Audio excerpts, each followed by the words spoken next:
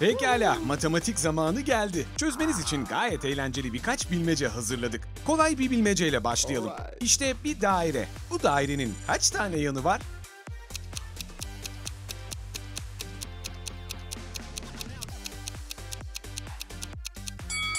Cevap 2 olacaktı. İçi ve dışı.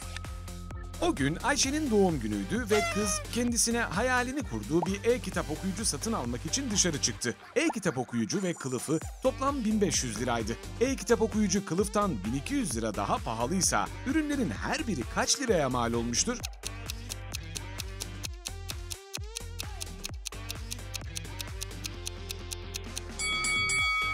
Kılıfın maliyeti X olsun.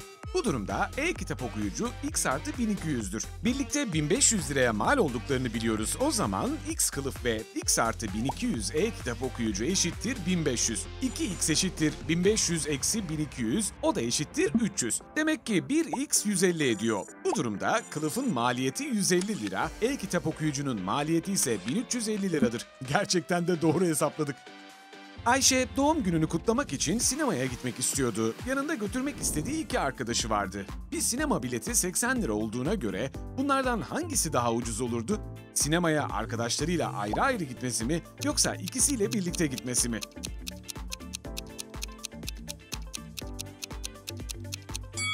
Elbette ikisiyle birlikte gitmesi daha ucuz olurdu. Çünkü iki arkadaşıyla da ayrı ayrı sinemaya giderse iki kere sinemaya gitmiş ve kendisine iki tane bilet almak zorunda kalmış olurdu. Bu durumda satın aldığı biletlerin sayısı toplam 4 ederdi. Fakat hep birlikte giderlerse sadece 3 tane bilet alması gerekirdi. 5 arkadaş 5 yıldır ilk kez buluştu. Hepsi gruptaki herkesle sadece birer kez el sıkıştı. Burada toplam kaç tokalaşma gerçekleşmiştir?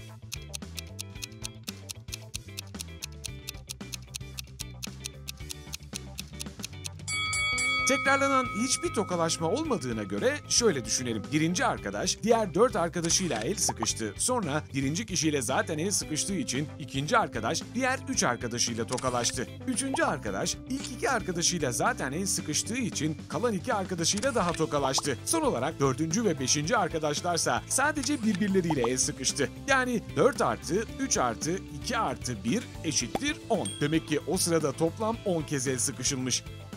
Berna'nın gizlice annesinin bilgisayarına girmesi ve yanlışlıkla ona gönderdiği e-postaları silmesi gerekiyordu. Eyvah! Neyse ki annesinin hafızası zayıftı. O yüzden daima şifrelerini not alırdı. Neyse ki o not yine masanın üzerinde duruyordu. Peki şifre nedir?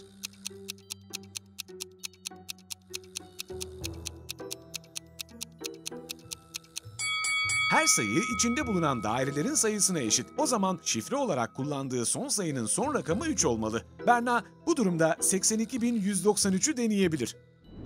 Derya ve Ela şehrin farklı bölgelerinde yaşayan fakat aynı üniversiteye giden iki iyi arkadaştı. Her sabah evlerinden aynı zamanda çıkıyor ve derse girmeden birer kahve içmek için ilk önce bir kafede buluşuyorlardı. Derya oraya arabayla gidiyordu. Ela ise okula gitmek için bisikletini kullanıyordu. Buluştukları zaman hangi kız Ela'nın evine daha yakın oluyordu?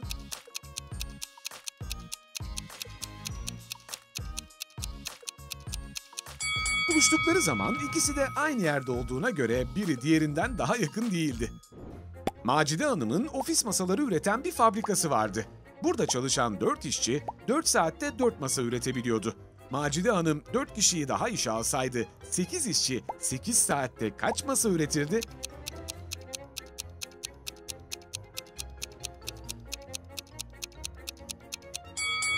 Dört işçi 4 saatte 4 masa üretiyorsa bu her işçinin 4 saatte bir masa ürettiği anlamına gelmektedir.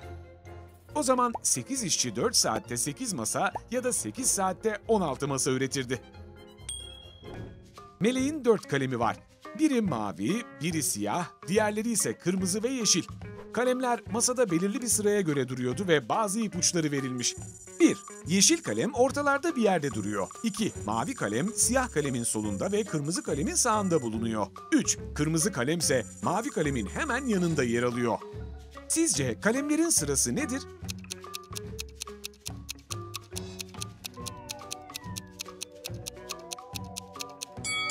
Yeşil kalem ortada bir yerde duruyor. Mavi kalemin iki yanında da başka renkler olduğuna göre o da ortada kalıyor. Şimdi hangisinin nerede olduğuna karar vermeliyiz. Yeşil kalem ikinci pozisyondaysa mavi kalem üçüncü pozisyondadır. Mavi kalemin siyah kalemin solunda olduğunu biliyoruz. Bu durumda siyah kalem dördüncü pozisyona geliyor. Kırmızı olansa birinci pozisyonda olmalı. Fakat bu verilen bilgilere uymuyor çünkü son durumda kırmızı ve mavi kalemler yan yana kalıyor. O halde yeşil kalemle mavi olan yer değiştirmeli. Çünkü bu sayede mavi kalem hemen kırmızı olanın yanında ama hala siyahın solunda duruyor. Demek ki doğru sıralama kırmızı, mavi, yeşil ve siyah olmalı.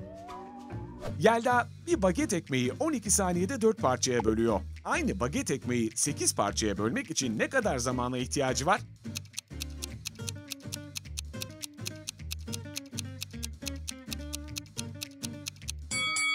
...28 saniyeye. Bir baget ekmeği 4 parçaya bölmek için 3 kesik atması gerekiyor. 3 kesim yapması 12 saniye alıyorsa... ...bir kesiği 4 saniyede yapıyor demektir. Ekmeği 8 parçaya bölmek istiyorsa 7 kesim yapması gerektiğine ve her kesim 4 saniye sürdüğüne göre 7 kesim yapması toplam 28 saniyesini alacaktır. Emel okuldan dönem notlarını alarak eve döndü. Notlarının 3'ü hariç hepsi A, 4'ü hariç hepsi B ve 5'i hariç hepsi C idi. Emel sizce kaçar tane A, B ve C notu almıştır?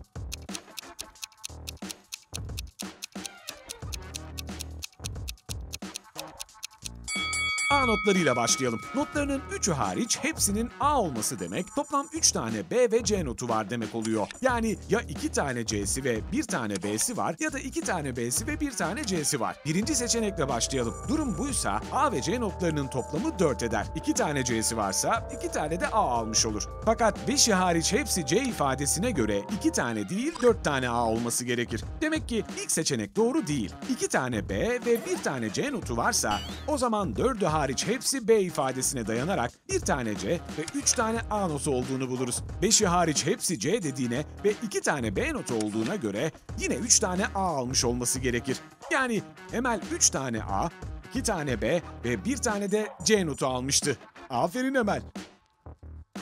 Kapalı durumdaki 3 elektrik düğmesinin olduğu bir odanın dışındasınız. Düğmelerden biri odadaki ampulü yakıyor. Düğmeleri istediğiniz kadar açıp kapatabilirsiniz. Ancak odaya sadece bir kere girme hakkınız var. Bu durumda hangi anahtarın ışığı yaktığını nasıl bulabilirsiniz?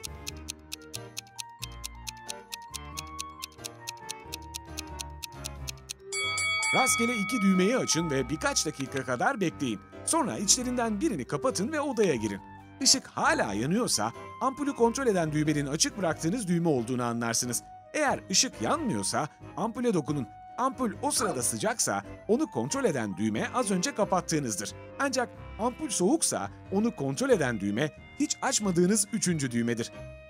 Adile Hanım her pazar kızlarına harçlık veriyor. Toplam harçlığın yarısı en büyük kızı olan Sema'ya gidiyor. İkinci kız kardeş Aslı, Sema'nın aldığının yarısı kadar harçlık alıyor. Eylül toplam harçlık miktarının altıda birini alıyor. Geri kalan 10 liraysa en küçük kardeş olan Serra'ya gidiyor. Peki Adile Hanım çocuklarına toplam kaç lira veriyor?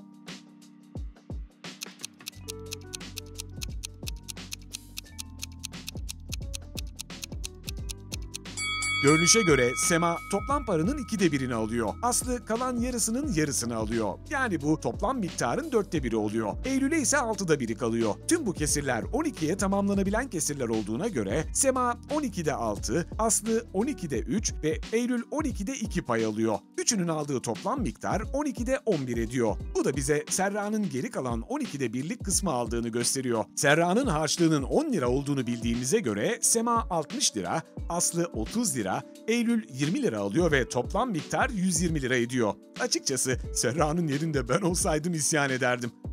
Ayşegül trenle en sevdiği arkadaşı Burcu'yu ziyaret etmeye gidiyor.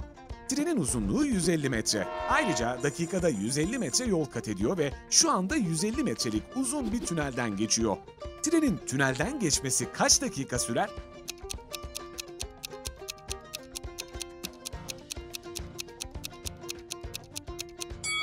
Tren tünele girince lokomotifinin tünelin diğer ucundan burnunu çıkarması tam olarak bir dakika sürer. Fakat trenin geri kalanının da tünelden çıkması gerek. Trenin başı tünelden çıktığında trenin sonu tünele daha yeni girmiş olur ve onun da tünelden çıkması için bir dakika daha gerekir. Demek ki trenin tünelden geçmesi toplam 2 dakika sürer.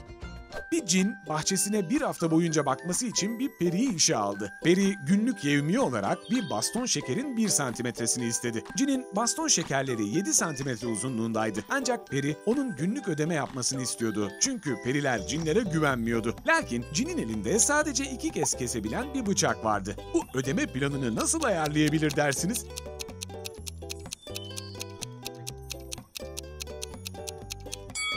İki kez kesim yaparak baston şekeri 7'de 1, 7'de 2 ve 7'de 4 uzunluğunda olan parçalara ayırmalı. Birinci gün ona 7'de 1'lik parçayı vermeli. İkinci gün ona 7'de 2'lik parçayı verip 7'de 1'lik parçayı geri almalı.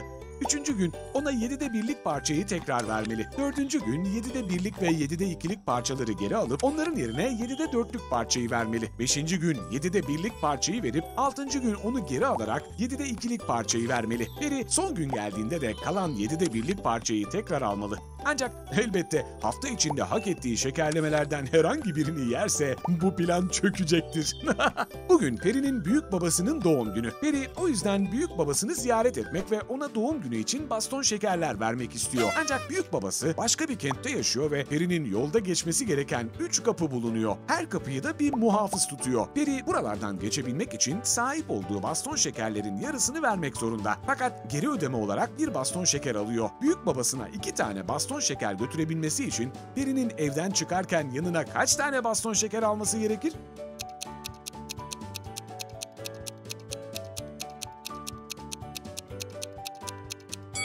Sadece iki tane alsa yeter. Her kapıda elindekilerin yarısını vermek zorunda. Bu durumda bu sayı bir baston şeker ediyor. Verdiği o şekeri de nasılsa geri alıyor. Hmm, bu şekerler nefis.